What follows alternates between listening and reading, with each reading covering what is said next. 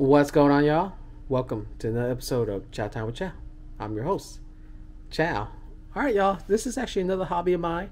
It's a little bit uh, flying drones, um, just taking photos and videos, and hope you guys like it. It's at one of my favorite places of all time. Hopefully, it's relaxing, and uh, you guys enjoy it. Uh, make sure you guys comment on it if you guys like it or not. Uh, if you guys want to see more of this kind of stuff, and uh, don't worry, the food videos will always be there. So just enjoy this uh, new little beach uh, drone video that I took uh, this last past weekend. Uh, and uh, remember, it's always Chau time.